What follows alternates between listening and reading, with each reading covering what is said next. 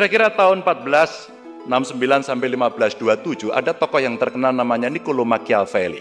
Dia seorang diplomat hebat, seorang pemikir filosof. Lalu apa yang terjadi dengan ajaran Machiavelli ini? Kekerasan sebagai alat yang efektif untuk mencapai dan mempertahankan kekuasaan. Kekerasan dapat dibenarkan jika digunakan untuk tujuan yang lebih besar, seperti melindungi negara dari ancaman internal maupun eksternal. Menciptakan rasa takut melalui penggunaan kekerasan ini merupakan salah satu cara yang efektif untuk mengendalikan rakyat dan musuh. Seorang penguasa harus memilih apakah dia ingin ditakuti atau dicintai.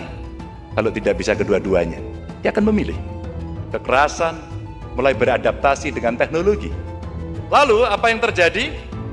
Dengan masyarakat yang dipengaruhi dunia digital, maka buzzer-buzzer ini bisa dipakai untuk memproduksi dan menyebarkan konten puja-puji. Atau kemudian dia juga bisa mengkritik baik lawan maupun kadang-kadang teman.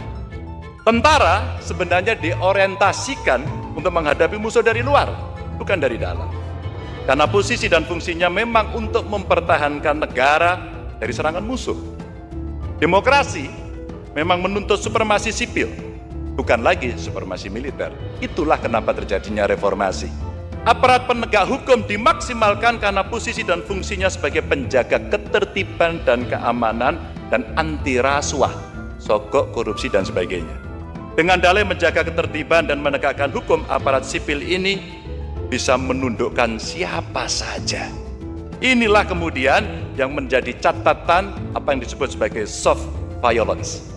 Politik sandra yang dilakukan oleh aparat penegak hukum. Siapa yang kena ini? Satu, elit politik. Maka ancaman untuk dikasuskan, ditersangkakan, dipidanakan, membuat tidak bisa punya kedaulatan politik untuk menentukan sikap. Kekuatan yang paling bawah di dalam pemerintahan seperti kepala desa, ancaman untuk dikasuskan, ditersangkakan, dan dipidanakan. Yang kedua pengusaha, ancaman pencabutan izin, tidak mendapatkan proyek, bahkan eh bisnismu gak bener ya, terkena kriminalisasi. Bagaimana menundukkan sebuah kekuatan. Dan tentu ada kaum profesional, buruh, aktivis, mahasiswa, dikriminalisasi, didoksing oleh buzzer, kemudian manipulasi isu oleh opinion leader yang kemudian bisa menggeser. Hanya dengan etik, moral, dan kecerdasan kita bisa punya sikap untuk menentukan dan melawan dengan baik-baik. Inilah yang kemudian membuat mereka gentar menghadapi situasi. Masyarakat dianggap sebagai objek politik, tidak lagi menjadi subjek politik. Hak suara dianggap komoditas yang bernilai tinggi saat kontestasi elektoral dan kemudian terkenal dengan kalimat wani biro. Maka apa yang diperlukan? Rasa takut yang efektif adalah yang diimbangi dengan rasa hormat. Bukan rasa takut yang menimbulkan kebencian. Sebab kebencian adalah sumber pemberontakan.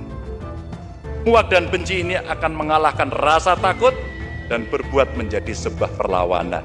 Cerita 98 kemudian melahirkan tumbangnya Orde Baru. Maka tugas kita adalah mengawal Indonesia ini lebih baik.